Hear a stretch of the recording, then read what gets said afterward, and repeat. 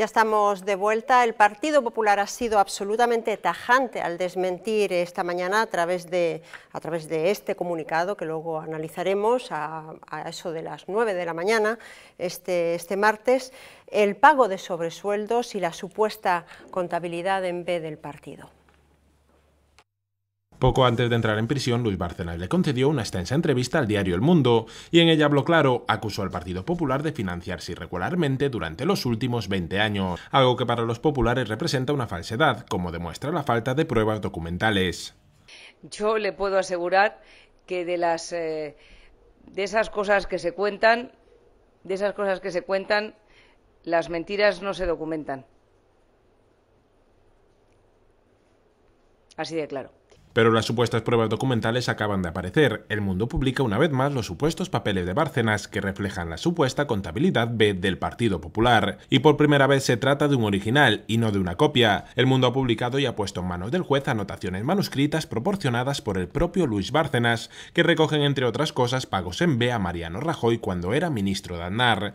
Según los papeles, Rajoy habría cobrado sobresueldos por valor de 15,4 millones de pesetas entre 1997 y 1999, incumpliendo la ley de incompatibilidades. Pero desde luego el Partido Popular no reconoce la veracidad de estas anotaciones. Un comunicado oficial establece que los apuntes publicados por el mundo no forman parte de su contabilidad y reiteran que todas las retribuciones pagadas por su partido se han realizado siempre de acuerdo con la ley. Bueno, ese original lo había remitido el director de El Mundo, Pedro J. Ramírez, al juez, al juez Ruth, que es el instructor de este caso. Eh, ¿Está cumpliendo la advertencia que había hecho Bárcenas de que tiraría del amante si se iba a la cárcel, Pepe?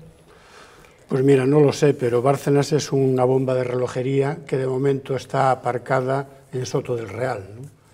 Yo creo que aquí lo importante no es lo que diga Bárcenas. Bárcenas es un sinvergüenza y además lo demostró fehacientemente muchas veces, porque dice una cosa y dice la contraria al mismo tiempo. ¿no? Sí, él había dicho que, no había contabilidad, que no había financiación ilegal. ¿no? Si te dijera la verdad te mentiría.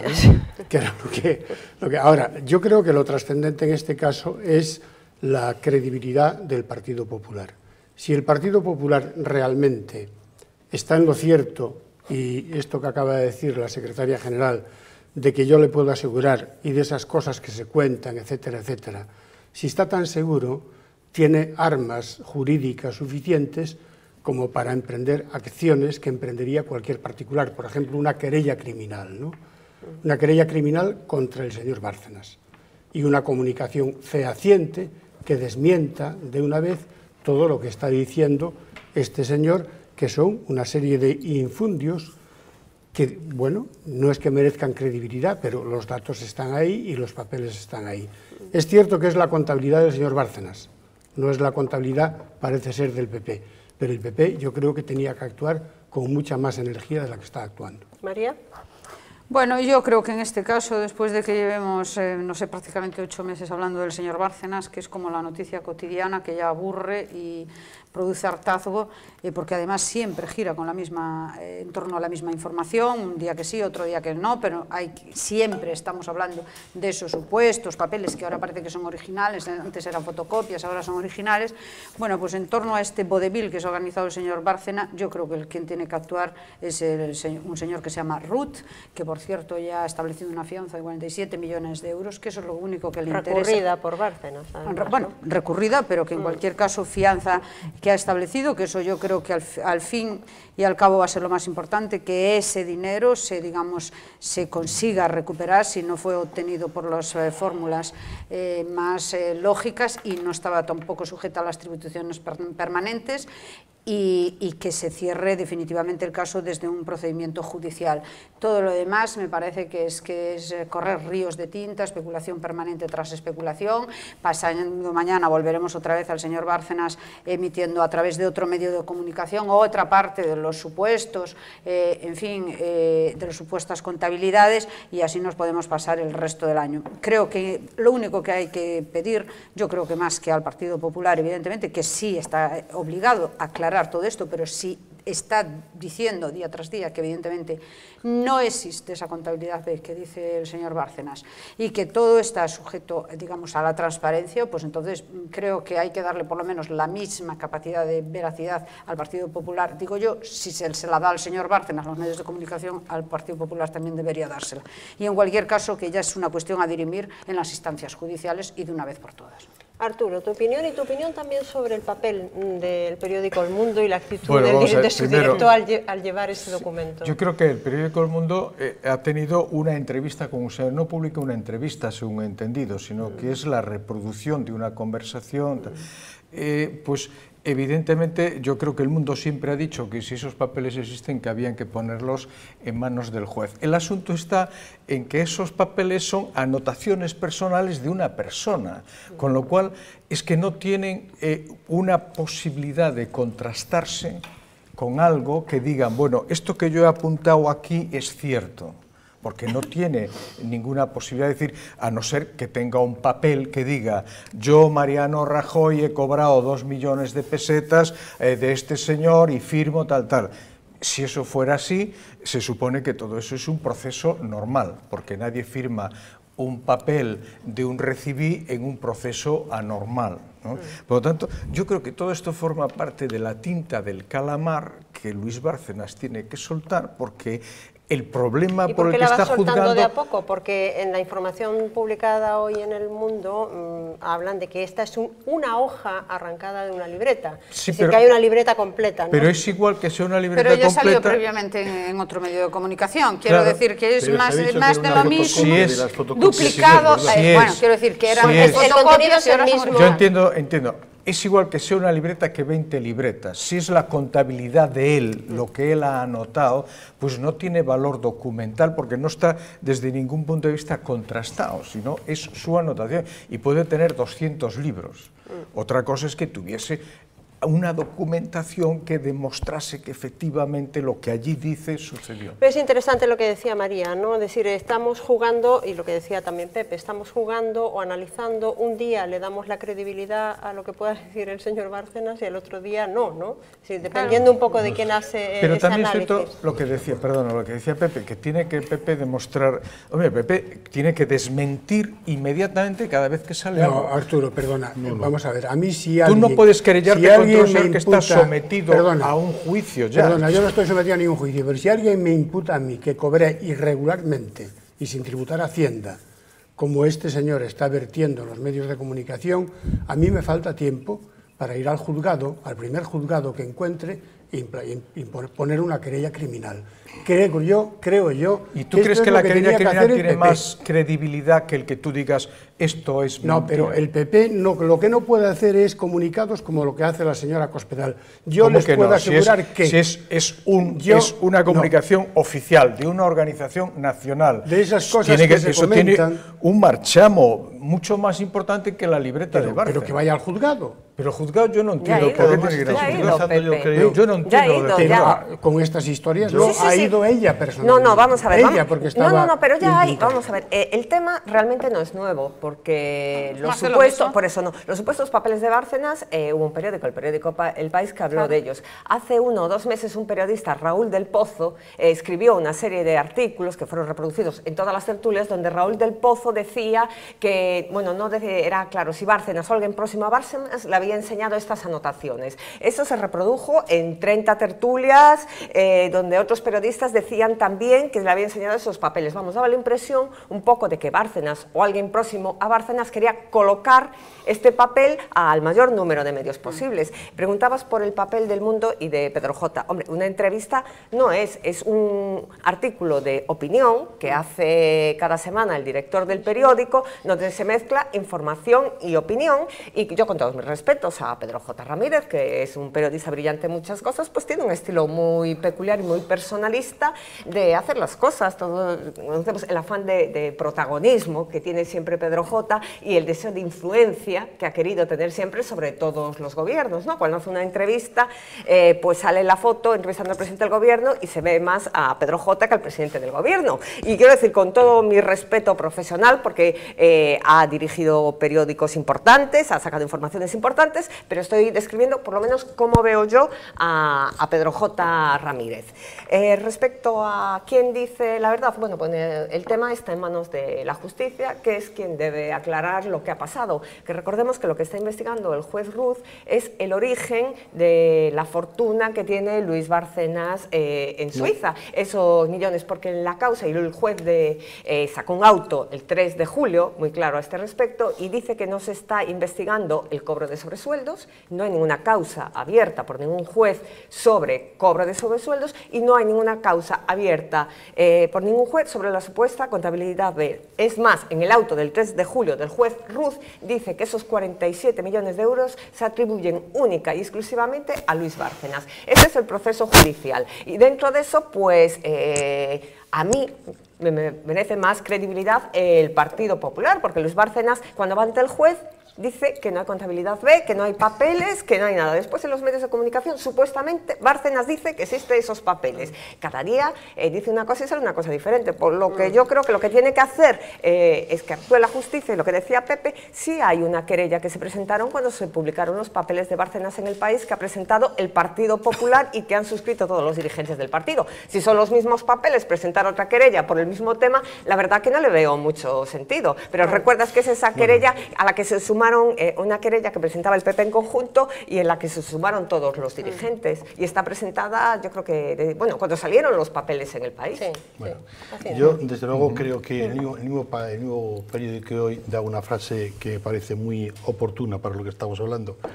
Por lo que ha dicho Dolores de, de Cospedal, de que las mentiras no se documentan, el mundo recuerda la famosa frase de, aciaga frase de Felipe González cuando el gal que dijo no hay pruebas ni las habrá por tanto, vamos a esperar efectivamente a que la investigación, como ha dicho María, prosiga, porque no se parece en nada a lo que ha ocurrido hace unos meses.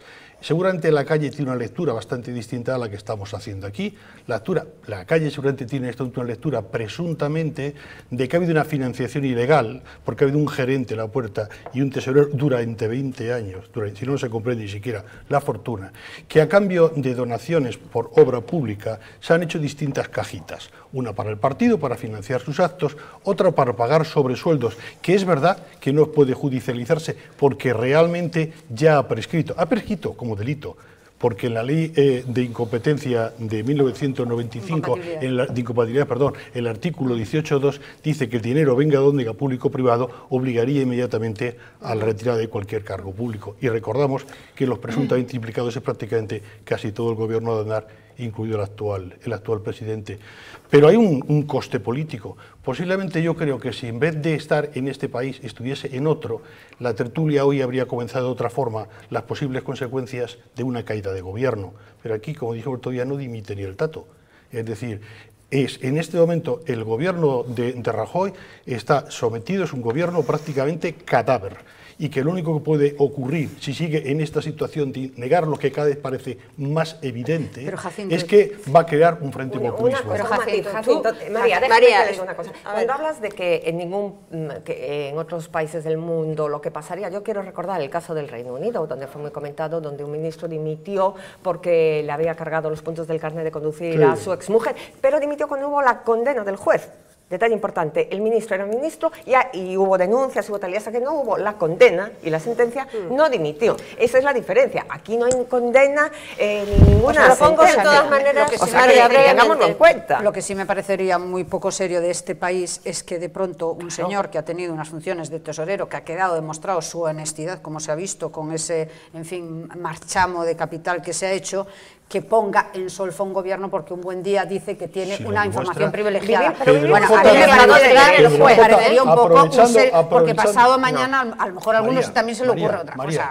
hay que ser un poco más serio. ¿eh? Aprovechando lo que tú has dicho antes, que me parece bastante razonable, yo creo que en este momento el que está jugando todas las fichas al ajedrez se llama Bárcenas. Es decir, va a ir soltando la información al ritmo que le convenga.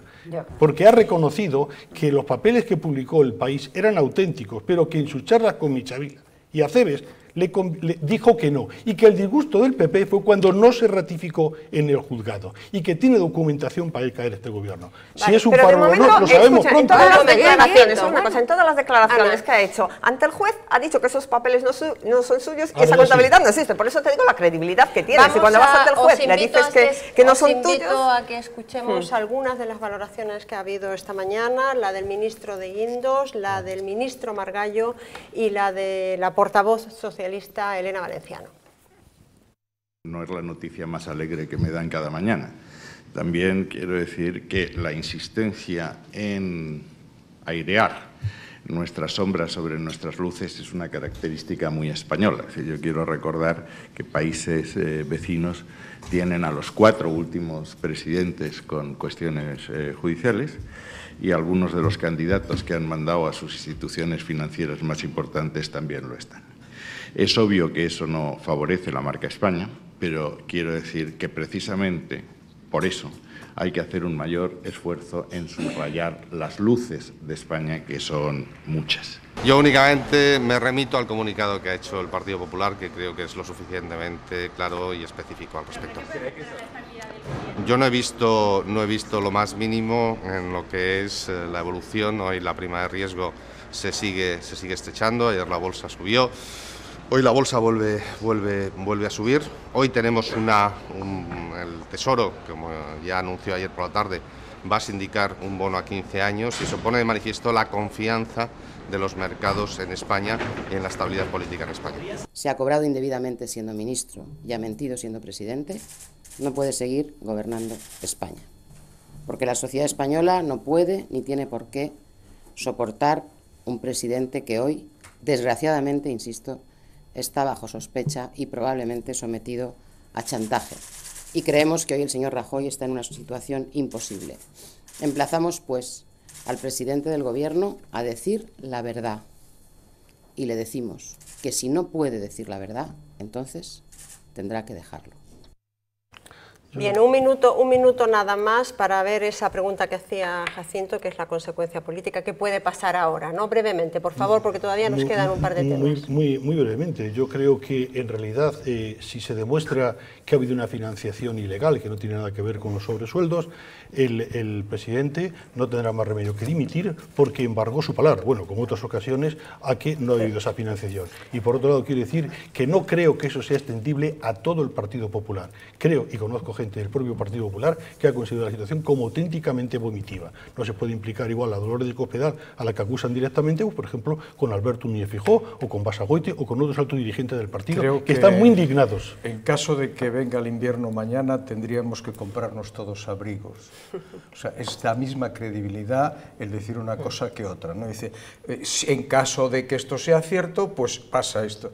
Dice, pero es que estamos haciendo hipótesis sobre algo que quien está implicado dice que no es cierto. Entonces, es un problema de credibilidad. Yo prefiero creer a este señor porque eh, tiene una consecuencia política más importante que creer a la persona sobre la que se dice cuando dice tajante oficialmente que no. ¿qué pasa con el gobierno? Que es un gobierno de mayoría absoluta, no depende de nadie, solo depende de sí mismo. Por lo tanto, es muy difícil que cualquier, diríamos, peripecia de estas pueda afectarle, porque esto afecta cuando hay coaliciones, cuando hay un socio que no está de acuerdo, pero cuando tienes una mayoría absoluta aplastante, como tienes ahora, pues que es una peripecia que solo y yo creo que lo decía María, en la resolución del juez puede decirlo, está todo en manos del juez, con lo cual nosotros pues podemos analizar cosas, pero en definitiva la resolución va a ser una sentencia judicial que dirá, este tiene razón o este no tiene razón. Sí, lo que hay que desear es que sea rápido. Sí, lo que hay ¿eh? que desear es eso, que, se pronuncie el juez eh, con claridad, pero lo que me parece lamentable es que Elena Valenciano se atreva hablar de esto, porque ¿por qué no llama a Griñán y le dice esto? O sea, acaba de hablar esto cuando el Partido Socialista fue el primer partido condenado en España por financiación ilegal por el caso Filesa. El segundo es Unión Democrática que ha reconocido y ha llegado a un acuerdo para reconocer esa financiación. El partido de los GAL,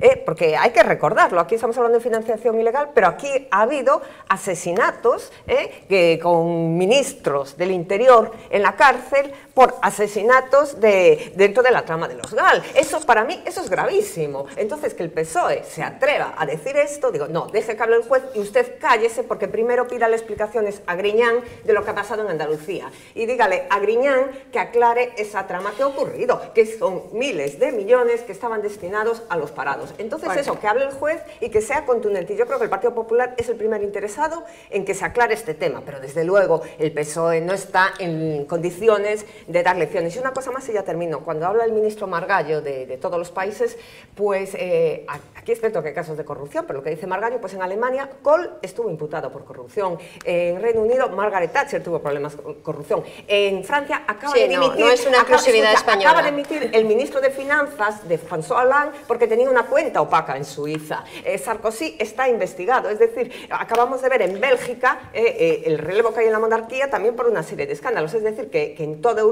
y sobre todo con temas de financiación hay escándalos absolutamente en todos los países. Bueno, no, somos un país eh, bananero. Vamos. Vamos a seguir seguramente esta semana y las que viene hablando del caso Bárcena, mal que te pese, María, es así, lamentablemente, pero también han sucedido otras cosas. Eh, me gustaría que un breve comentario, porque nos queda nada, menos de 10 minutos, para comentar eh, las declaraciones del gobernador del Banco de España, Linde, esta mañana, y las del secretario de Estado de Economía, que daban ya por finalizada la crisis. Lo que está claro es que nos estamos acercando a un punto en que dejaremos la zona de crecimiento negativo, de, de recesión o de, de tipos negativos de, de variación del PIB. ¿no? Eso es lo que llamo punto de inflexión. Si eso es un trimestre, pues es, eh, sí, eh, la idea es que vamos a pasar, yo creo, claramente, en los próximos meses, de crecimiento negativo a, a- a positivo. Yo creo que en el, en el tercer trimestre, en el tercero, en el verano, digamos, en, en este verano, esto es muy arriesgado por mi parte, pero bueno, eh, podemos estar muy cerca de, de- de- de no decrecer, o sea, muy cerca de cero, o sea, muy cerca de no tener crecimiento negativo. ¿no? Nuestra estimación para el segundo trimestre es que sea menos malo que el, que el tercero, con cifras menos negativas, ya aproximándonos a cero. Eh, la previsión para el tercero es que continúe esa mejora, por tanto, eh, de ahí el cambio de tendencia y, y de ahí nuestra impresión de que lo peor de la crisis lo hemos dejado ya atrás en el cuarto trimestre del año pasado.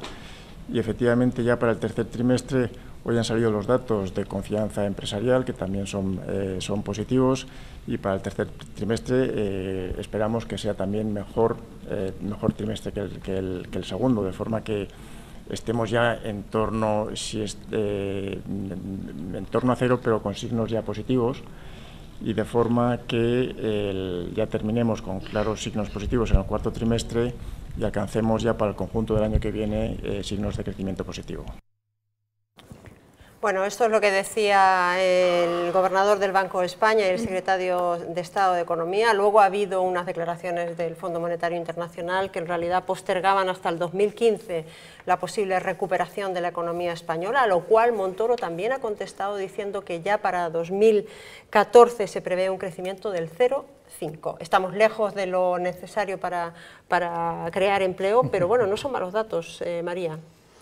Bueno, no son malos datos y es verdad que ya hace Parece que hay una tendencia, ¿no? Que exactamente, que a lo largo de los últimos meses hay unos indicativos bastante firmes que vienen a corroborar que puede haber ese, digamos, cambio de tendencia de la, digamos, eh, de la economía que no supone eh, que ya empecemos a registrar crecimiento. O sea, donde había un descento en picado en estos momentos se estabiliza y parece que vuelve a repuntar a, como bien señalaban, establecerse, eh, digamos, en un suelo de cero. A partir de ahí, supuestamente, siempre Crecemos. tendría que No obstante, es verdad que aún estamos lejanos de una creación de riqueza necesaria como, eh, mm, como para crear puestos de trabajo, empleo neto. ¿no? Eh, eso yo creo que será un poco más largo plazo, pero bueno, eh, por lo menos, por lo menos abandonarlo el signo negativo de la de, que Montoro, veníamos Montoro ma- ya habla la de un economía. 0,5 ¿eh? para el 2014. Sí, pero aún sigue siendo insuficiente para generar puestos de trabajo. Evidentemente, quiero pero bueno, que ya se está- pasa del cero. Pero bueno, todo lo que sea ir incrementando, bienvenido sea, aunque sean esos pequeños porcentajes. ¿no? Pepe.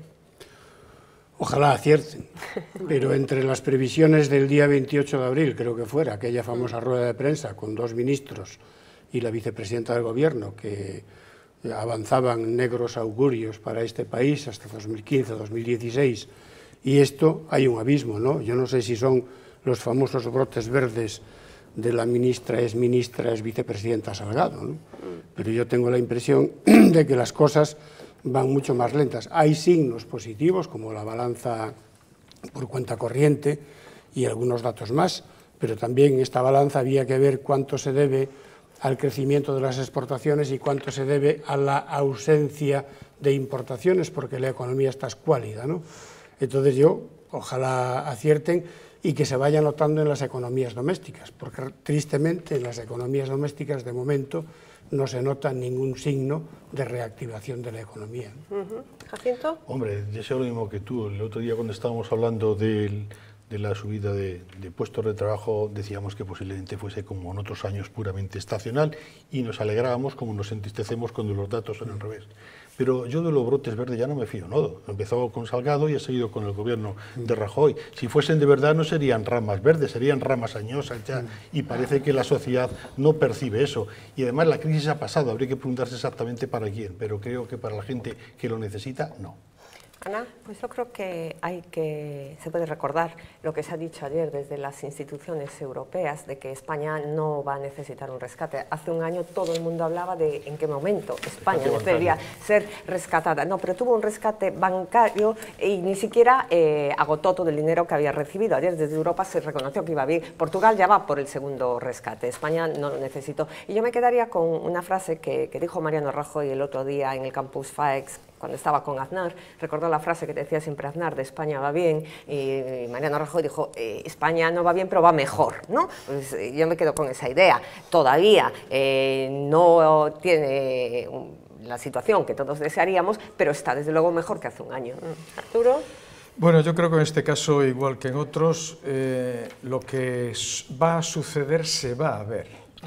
Es decir, eh, que si la cosa mejora se va a ver. O sea, podemos decir, no me lo creo, me lo creo, pero es que esto es un aspecto que se va a producir en un momento determinado y o es así o no es así. Es decir, no es un experimento intelectual que no se va a, a ver eh, materializado en nada. ¿no? Mm. Al contrario, lo veremos en su tiempo y se verá si los expertos yo tengo que reconocer que yo no soy capaz de detectar dónde están esos indicadores, pero si los expertos eh, saben detectar dónde están esos indicadores y que las cosas están mejorando, pues eso nos lo va a demostrar el tiempo y la realidad. Y veremos si al acabar el año estamos mejor o no estamos mejor. Yo no me atrevo a predecir, ni siquiera con el radar que tiene ahí. Esperemos estar por aquí para contarlo. Esperemos.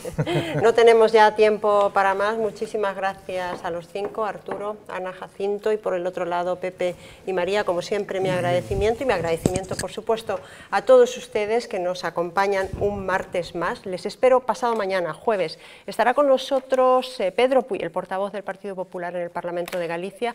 Con él intentaremos hacer un balance de esa comisión de investigación de las cajas. Les espero entonces el jueves a las diez y media de la noche. Hasta entonces pasen una feliz noche. Adiós.